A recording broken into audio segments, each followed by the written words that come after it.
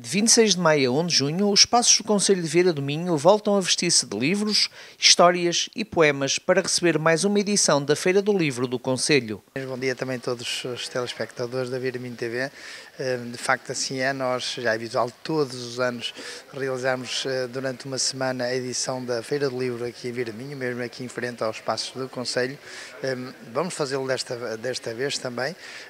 com um grupo de atividades durante todos estes dias, cerca de uma semana, de 26 a 1 de junho, 26 de maio a 1 de junho, em que teremos aqui atividades ligadas uh, uh, ao livro, ligadas à leitura, ligadas aos nossos poetas, aos nossos autores um, e também dedicados, acima de tudo, às crianças e aos nossos jovens, para que eles também ganhem um bocadinho de gosto pela leitura. É uma feira do livro que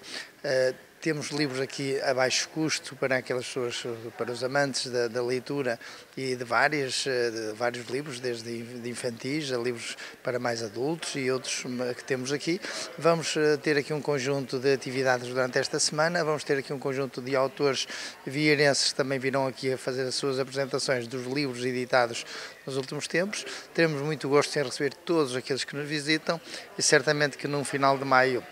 e princípio de junho, eh, em que está quase a terminar um ano letivo, também podemos eh, e devemos ter cá muitas crianças para depois aproveitarem de facto essa situação para tirar uns livros para durante as férias, estas férias mais longas do período escolar, também poderem usufruir um bocadinho dessa leitura que podem eventualmente procurar aqui os livros que mais gostam, que mais adoram. É isso que nós tentamos fazer, eh, juntamente com a nossa Biblioteca Municipal e as técnicas que fazem esse trabalho no dia a dia, para que as pessoas possam ter também aqui uma oportunidade, não só de ter livros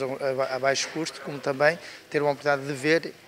aqui algumas questões importantes eh, da leitura e da cultura vieirense. Portanto, é isso que nós estamos a fazer. Esperemos ter uma adesão significativa uh, à semelhança de anos anteriores uh, e esperamos para ver e depois no final faremos um balanço, esperemos nós que seja um balanço extremamente positivo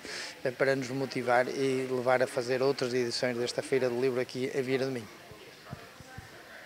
Já sabe, durante esta semana não perca a Feira do Livro em Vieira do Minho.